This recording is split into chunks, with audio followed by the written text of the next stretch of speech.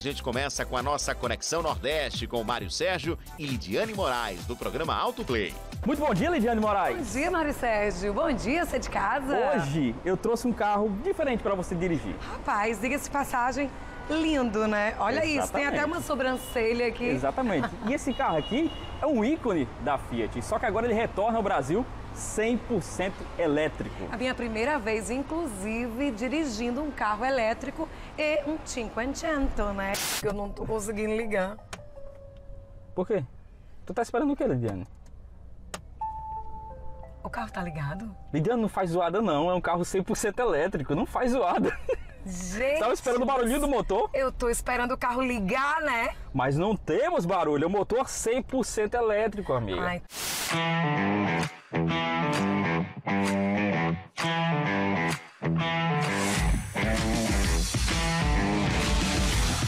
Vamos acelerar a primeira vez de Lidiane.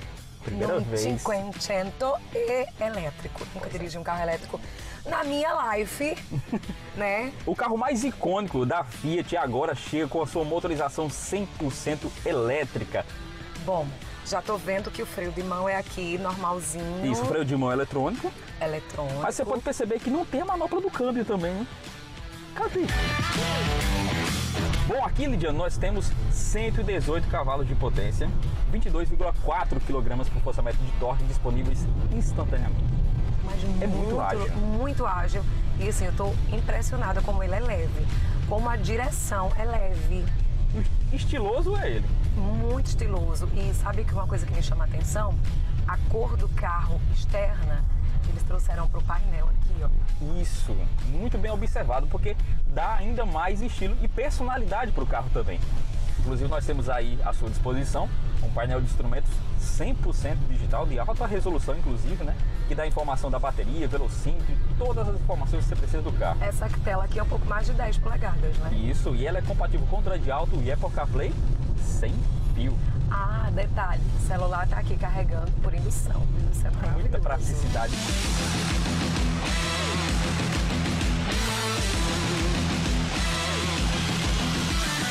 O carro, ele vai me avisar quando, ah, quanto eu tenho de carga.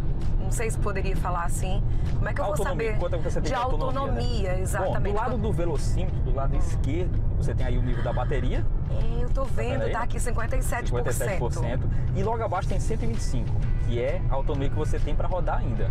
Dá para você ir para Guarabira, voltar sem gastar um real de combustível. Mais uma duvidazinha. O Brasil, mais precisamente a nossa Paraíba, tá preparada para eu parar num posto e, e abastecer, recarregar? Pronto, você pode carregar, Lidiane, na sua tomada convencional em casa, né? Sim. Claro, o tempo de recarga vai ser um pouco maior, você consegue carregar até 80% da bateria em 35 minutos. Custo de, por exemplo, você encher o tanque do carro e comparar com que você abastecesse com energia elétrica, é mais ou menos comparado a 25% do que você gastaria com gasolina.